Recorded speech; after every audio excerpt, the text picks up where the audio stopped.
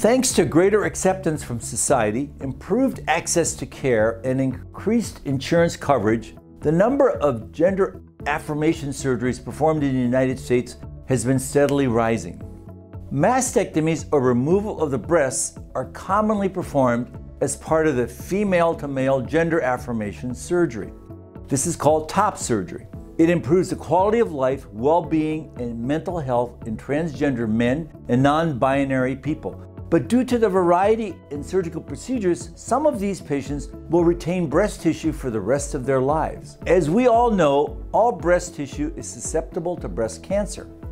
But there is no consensus in the field on regular breast cancer screening and education for these patients.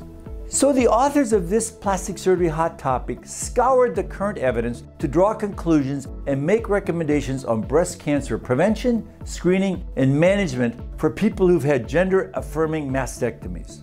They report the following. The best available clinical data to date shows that testosterone therapy does not appear to increase the risk of breast cancer. It's very important.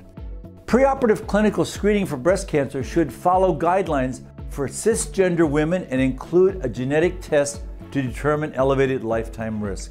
Although different procedures are needed for different patients, the surgeon should aim to remove all glandular and fibrous tissue of the breast. On the flip side, patients do need to understand before the operation that removal of all breast tissue is impossible. Very important to understand. All mastectomy specimens must be pathologically examined.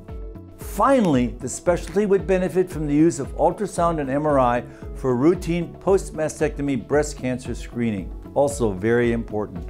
Education, open lines of communication between the surgeon and the patient, and studies like this one in PRS are all necessary to enable an informed decision making for lifetime care.